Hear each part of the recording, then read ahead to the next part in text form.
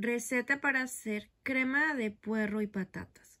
Este clásico y reconfortante plato se puede batir para hacer una crema o dejar sin batir y tomarlo como sopa. De cualquier modo estará riquísimo, sobre todo si se sirve con pan rústico. Preparación 15 minutos, cocción 40 minutos. Utensilios especiales, batidora o robot de cocina. Para cuatro raciones. Ingredientes. Una cucharada de aceite de oliva. Una cebolla finamente picada. Sal y pimienta negra recién molida. Dos dientes de ajo rallados o finamente picados. Tres hojas de salvia finamente picadas. 450 gramos de puerros limpios y cortados finos.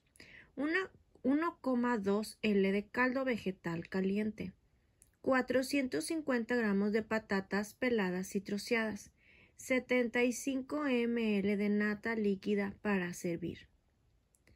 El procedimiento es 1. Caliente el aceite en una cazuela. Añada la cebolla y sofríala a fuego bajo de 6 a 8 minutos hasta que esté blanda y translúcida. Salpimiente y agregue el ajo, la salvia y el puerro. Remueva bien y deje hacer a fuego lento 8, de 8 a 10 minutos, hasta que todo se ablande. 2. Vierte el caldo, lleve ebullición, añada las patatas y déjelas a fuego suave unos 20 minutos o hasta que se ablanden.